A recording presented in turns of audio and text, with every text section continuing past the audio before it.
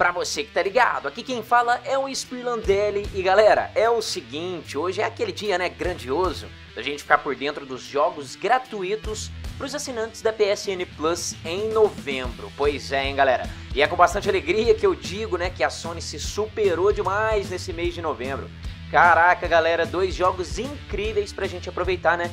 Que para começar, a gente deve falar de Nayo, que é um RPG que lembra bastante Dark Souls e se passa aí num fictício Japão feudal.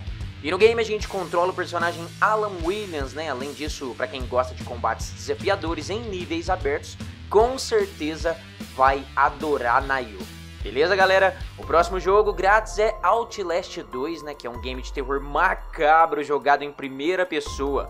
E após um acidente de helicóptero, a sua esposa desaparece em uma região remota e assustadora, cheia de cultistas desfigurados que procuram matar você de qualquer maneira.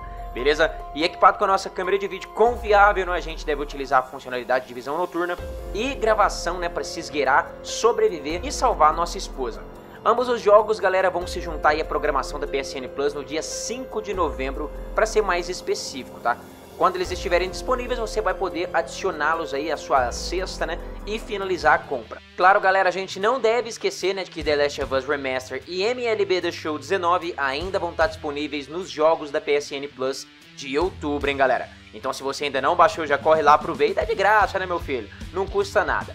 Então é isso, jovens, aproveita bastante que novembro tem dois jogos magníficos pra gente jogar. Um grande abraço, tudo de bom sempre e uma ótima semana para todos nós.